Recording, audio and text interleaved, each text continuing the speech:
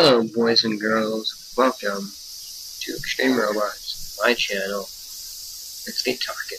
Good morning boys and girls, and welcome to my show, Extreme Robots, and today is Friday the 13th. Dun dun dun dun dun dun dun dun. dun, dun. But anyway, so don't want to miss, oh, you step on a crack, break your mother's back, stuff like that.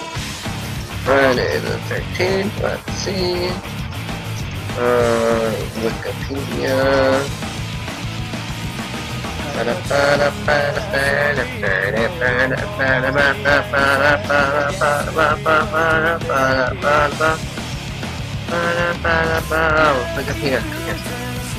My internet is so slow as I said before. I have bad internet. Come on, you stupid Timer! Look up.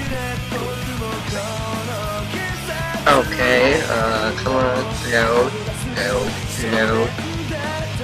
Uh, anyway, hold on, give me second. Uh, let's see, come on, come on. Anyway, what do you guys think? Do you guys believe in all the myths and, or the notions of Friday the 13th? Oh, saying you'll break into the back, step on a crack, that type of thing. Um, I of. Oh, here we are. Okay, let's read. Ah, history.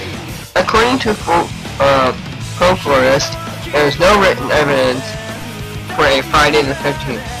Superstitions before the 19th century, the earliest known document references in English occurs Henry Sutherland Edwards, 1869 biographer Pinocchio Rossellini, who died on Friday the 13th. He, Rossellini, was surrounded, uh, yeah, surrounded to the last by admitting his friends, and to be true like many Italians. He regarded Friday as an unlucky day, and 13 as an unlucky number, and has marked that one for Friday the 13th of November he died. So that, I guess, is the true,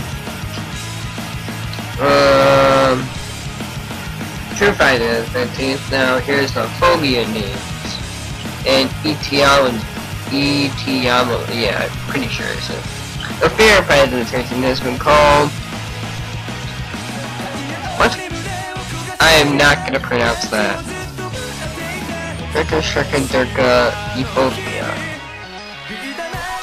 Uh, Frigga being the name of the Norse goddess of Friday is named in English, and Trisadurka Phobia, meaning fear of the number 13.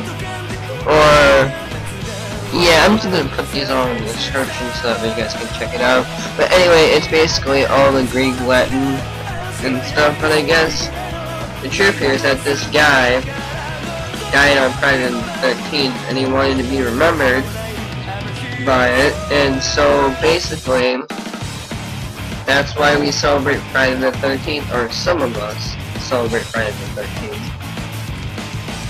Mm. Should be interest should be an interesting day, so uh, yeah, that's basically it. You know, there's some history behind it, which is kind of cool. I did not know that. And there's some other stuff too. Uh, it's all in it's all in Wikipedia. Um, I'll put the link in the description box below, so you guys can go check it out. And so, yeah, peace out, everybody. Oh yeah, like, subscribe. That's awesome. Later.